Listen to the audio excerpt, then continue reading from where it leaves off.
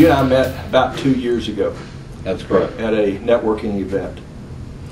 You got my attention when you started talking about the video six-pack. What is that? Wow. Um, I was literally laying in bed one night trying to come up with a niche because I knew that small medium business needed something to jumpstart them online, a video, because it was getting really hot in the market. And I actually woke up in the middle of the night thinking, video six pack. And I actually went out and posted it on a blog the next day and on Facebook. And all these people start commenting, oh, that's a great name, that's fantastic. So that's how it started. So, in the video six-pack, obviously it's six videos. Six one to three minute videos. These are videos normally uh, you put on YouTube. Yeah, they're demos, intros, um, how to's.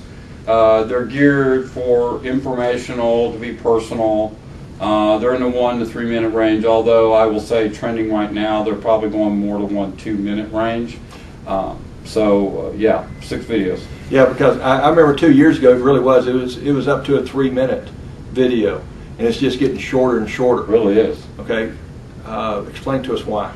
Um, people really want get to the information. They want people to get to the point.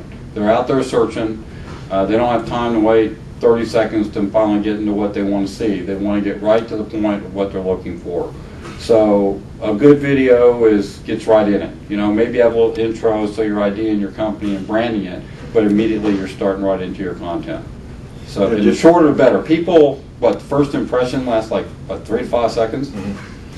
You know, just a few minutes ago, I clicked on a video that uh, was in an email, and it was 12 minutes long, and I couldn't.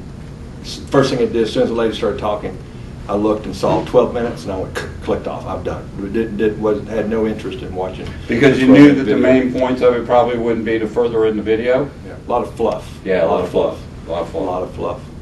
Do you go on location, or you bring people into your studio? Do both, uh, and I really don't have a studio because I don't believe that my videos are designed for the production, the real hard, high-end production. I don't put people in front of a green screen. I really like them to shoot in their office or their environment. And the reason is I want them to be comfortable.